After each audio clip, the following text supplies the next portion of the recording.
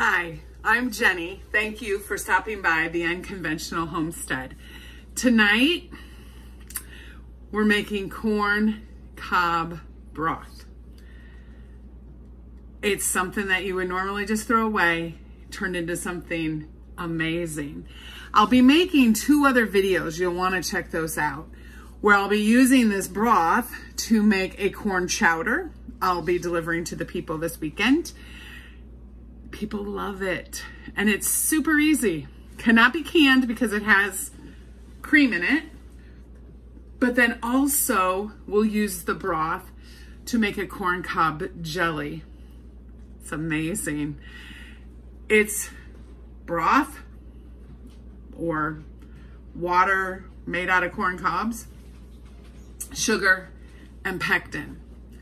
So make sure you look up those two things, but this could be used as a base for any soup. Could be for a vegetable broth or another corn soup, a chicken tortilla soup or anything like that. I don't roast it. Some people will roast the corn before they do it. I don't. So what I did this fall, well, late summer, when our sweet corn came in, we canned sweet corn for the first time.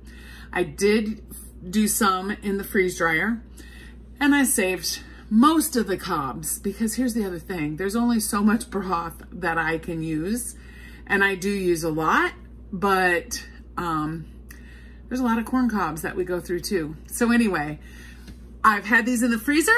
I saw them. And again, remember my one goal is clean out the freezer. Use the food to preserve food. So I have my Ball Tech canner and I'm gonna turn it on to high. So tonight I will have this on high and get it close to a boil and then I will turn it down and I will let it go until tomorrow night. So almost 24 hours. The first thing I'll make is the soup and I'll probably put the broth, the rest of the broth in the refrigerator to make the corn cob jelly probably over the weekend. But I thought I might as well get started. So I have two bags, about 18 cobs and that's it for this broth. So it's, I put some water in there already and then I put the cobs in and I'll fill the water up to the maximum fill line. I've used this, oh, for the turkey broth. Um, and I love this. This is a water bath canner. I've never used it for that. I've only used it to make broth because I'm gonna move you around here there is a spigot here that can go into the sink. So I'm able to easily get the broth out. I usually put a strainer over here and um, and able to get the broth out. It's quick to fill. This is where I set it on my counter. Um, but I'll tell you what, I'm I'm not a huge corn fan. I, I, I love that Anthony grows the sweet corn. I love making corn relish. Um, I enjoyed canning corn this year. Freeze drying is probably the route that I will go in the future. It's super easy, takes up less space. Um, but anyway, this broth makes the whole house smell amazing. I love it. And so I'm really looking forward to this corn chowder. Um, I did not make that this fall.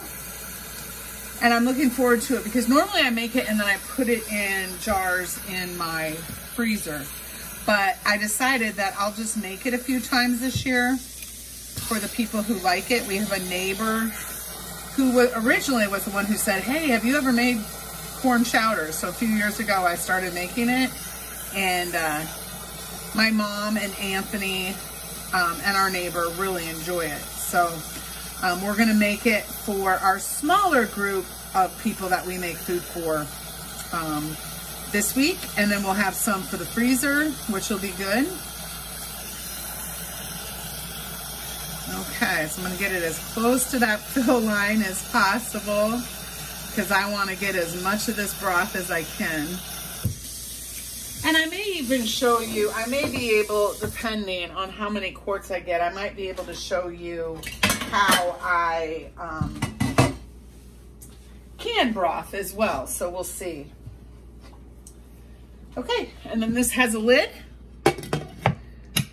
And I'll bring you back throughout the process, but um, I will link below the, the Ball Fresh Tech canner.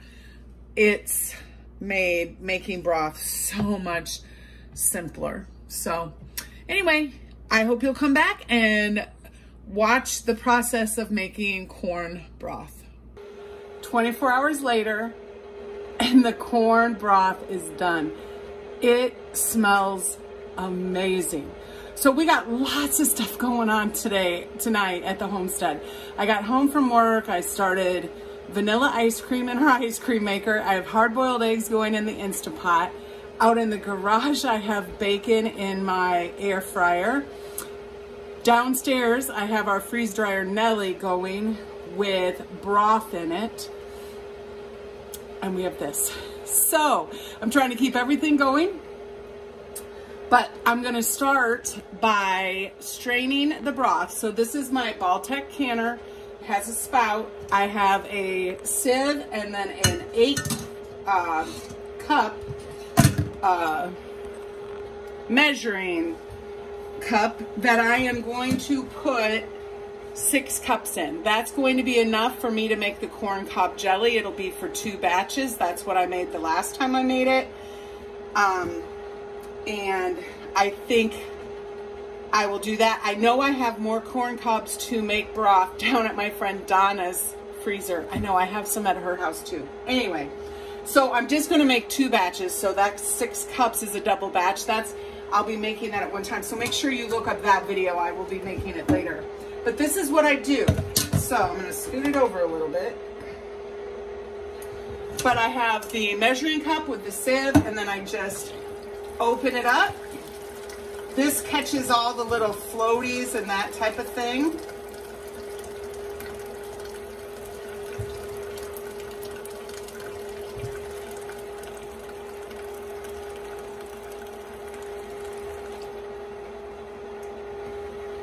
And of course I was holding it the wrong way. Ah, I just need about half a cup more.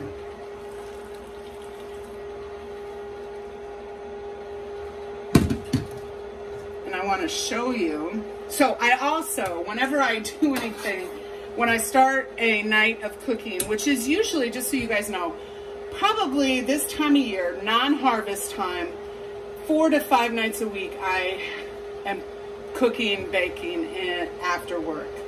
Um, I wash out both sides of the sink. I wipe down all the counters because my eggs that have three minutes left and then I'll natural release for five minutes. So eight minutes will be cooling over on this side of that as well. So once I get the soup or the broth done, I will grab that out. I'll wipe it down again. Anyway, look at the color of this. It is amazing. That was 18 corn cobs filled with water to the top of the Ball Tech canner. So I'm gonna go put this in a place where it can cool then I'm gonna put it in the refrigerator because I'm not gonna deal with it tonight. But I want it to cool before I put the lid on for condensation. Then the next thing I'm gonna do is I'm gonna put four quarts in um, because I'm gonna use that to can. Then the rest of it is fair game for the soup that I'll be making in another video. So I will be showing you how to can in an electric pressure canner four quarts of this broth that I'll be adding to my shelf. So I'm going to use a, a smaller measuring cup and I'm going to do four quarts to get it ready for the pressure canner.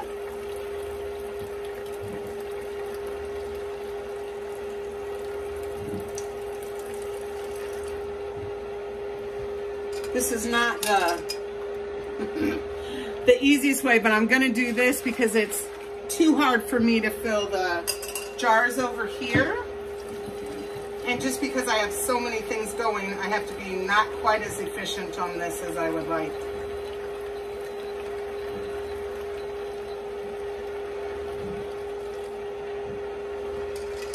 But we make it work. I have the canning, the four wide, wide mouth canning jars ready.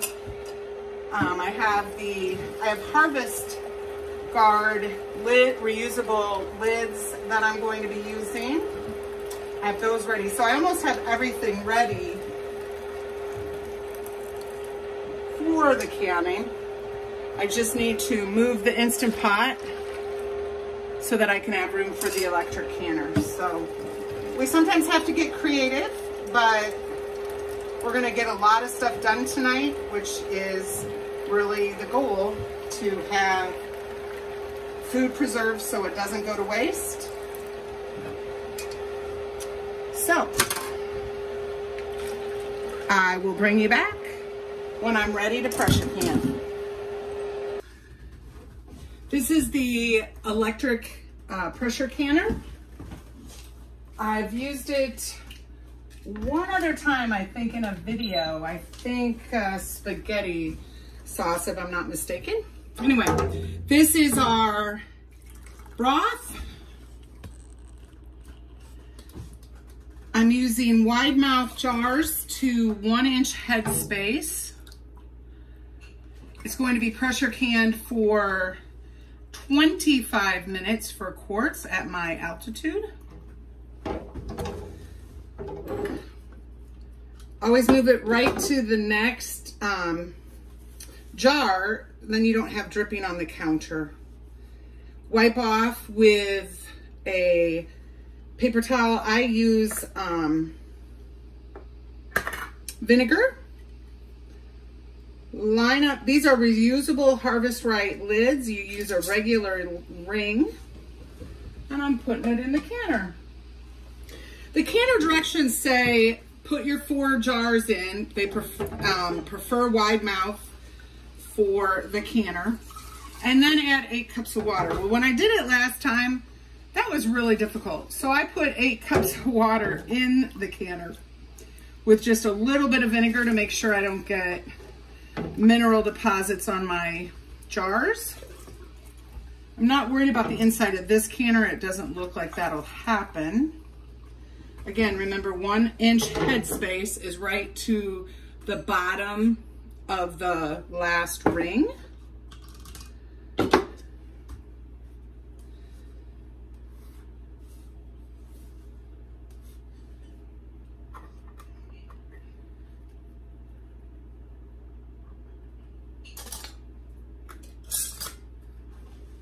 This is my first season canning with reusable uh, lids and I like it.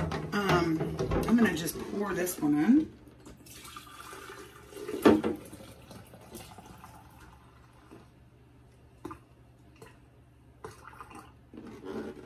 Okay. That looks really nice.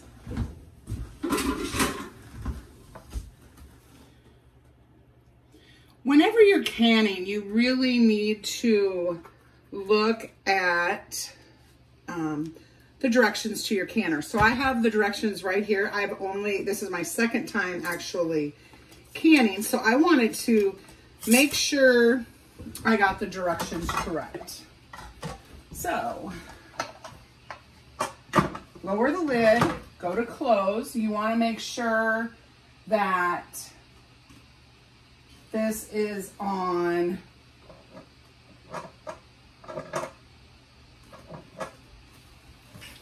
You're gonna press high and then you put in the time and we're doing 25 minutes.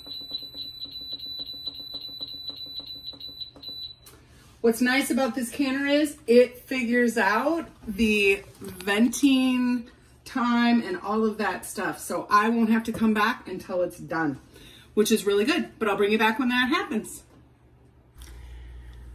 So the pressure canner is still getting up to pressure, but I wanted to make sure I mentioned two things. First off, that this needs to be pressed uh, to airtight There's exhaust on each side, but it needs to be straight matched with the relief valve. And you need to press the start button. I forgot to mention that in the video earlier, and I just wanted to make sure that I brought it to your attention now. So while the broth is in the electric pressure canner, I'm getting the rest of the broth ready for another video I'm doing. And I just wanted to show you, I'm taking the cobs out. I have the trash can right here. Now these are warm, they're very hot actually. So if you have kids or pets or a husband that's not paying attention or a wife who doesn't pay attention, you may not want to leave them in your trash for them to be messed with. Um, we do not have any pets at the moment, so we're safe. But um, I just want to make sure that you think about that when you're in the kitchen because you certainly don't want to be creating a situation. So I'll bring you back when the pressure canner is done. The corn broth is complete. Look at that. So easy. I will link this canner below because it really is nice. With Harvest Guard lid, rings, or lids, they're not the rings, you do need to tighten the rings. Um, and so I will do that in just a moment. But normally if you're just using regular reusable lids and rings, you don't need to, you should not tighten them as you're pulling them out. So just make sure when you're watching a YouTube creator that you they know what they're doing and telling you the right thing because it's very easy to just get in the motion and the steps and not refer to your notes. So thank you so much for stopping by tonight. I hope you'll try this amazing corn broth stock, whatever you want to call it. It's inexpensive and it smells amazing and it can add so much to your meals. I hope that you'll also look at the corn chowder video using this broth and I will be doing a corn cob jelly as well. So look for those and let me know if you're gonna be making them. Thank you for stopping by the Unconventional Homestead. I'm Jenny, and until next time, make sure you're preserving your food.